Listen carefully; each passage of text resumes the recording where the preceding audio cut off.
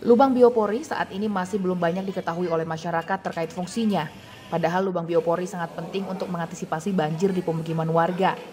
Lubang resapan biopori adalah lubang silindris yang dibuat secara vertikal ke dalam tanah guna mengatasi genangan air dengan cara meningkatkan daya resap tanah.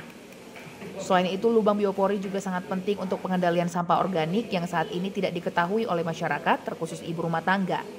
Dengan adanya lubang biopori, sampah organik dapat dijadikan pupuk kompos dan mempunyai nilai ekonomi.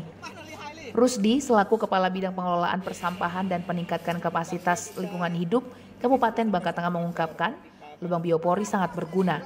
Namun saat ini masih banyak masyarakat yang belum memahami fungsi dan cara pemasangan lubang biopori itu, sehingga saat ini pihaknya terus berusaha untuk memberikan sosialisasi kepada masyarakat terkait lubang biopori. Untuk hari ini pembantuannya kita adalah pemasangan biopori biopori di desa Kulur kebetulan memang desa Kulur ini sebagai desa percontohan untuk program kampung iklim dan e, biopori yang kita pasang itu berjumlah 64 buah. 64 buah kita pasang di e, kurang lebih 30-an warga yang berminat untuk dipasang ya.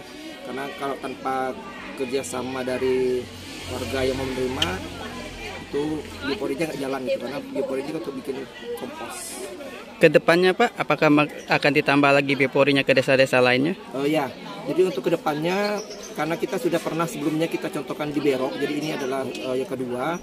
Uh, kami sini mengajukan ke dari swadaya masyarakat ya karena tahun depan kita akan uh, mencari program baru biar ada inovasinya juga dan uh, bisa ke depannya pengelolaan sampah itu lebih berkelanjutan. Jadi ke depannya Dinas Lingkungan Hidup bersama PKK Kabupaten dan Kecamatan akan terus memberi sosialisasi kepada masyarakat agar semakin memahami pentingnya lubang biopori sebagai pencegah banjir dan pengelolaan sampah organik.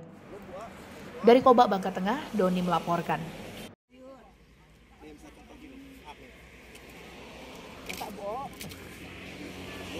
Baik itu kalau yang daunnya keras tetap jangan jangan terlalu keras kalau isunya daun mangga